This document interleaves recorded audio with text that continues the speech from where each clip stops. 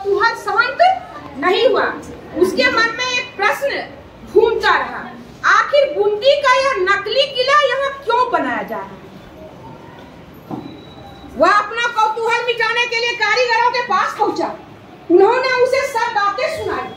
बातें सुनते ही उस सैनिक की पेशानी पर बल पड़ गए वह विद्युत गति से वहाँ से निकल आया। दृढ़ निश्चय से उसकी मूर्तियाँ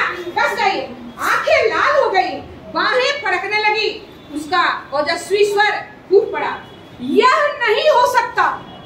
यह नहीं हो सकता, मेरी प्यारी मातृभूमि बुंदी। जब तक तेरा यह बेटा जीवित है, तब तक तेरा यह अपमान कदापि नहीं हो सकता।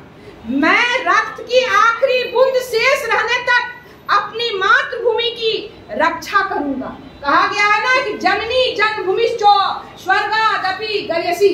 जननी यानी माता। और जन्मभूमि जहाँ जन्म हुआ है वह स्वर्ग से भी महान होता है। वह स्वर्ग से भी महान होता है। वही बात अभी जो है कुंभा को लग रहा है।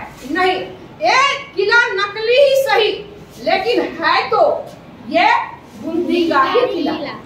नकली ही सही लेकिन है तो ये बूंदी का ही किला। जब तक तुम्हारे बूंदी जब तक तुम्हारा बेटा जीवित रहेगा एक बूंद भी शरीर में अगर रहता है तो निश्चित रूप से हम इस किला को ढाने नहीं देंगे। देख रहे हो ना कितना स्वाभिमान है अपने देश के प्रति। है ना? है कि नहीं? भरा हुआ कूट कूट कर ऐसा ही होना चाहिए। तो यही बात है कि जननी जन्मभूमि स्वर्गादपि गयसी जननी और जन्मभूमि स्वर्ग से भी महान होता है, इसको लेके हमेशा चलना चाहिए।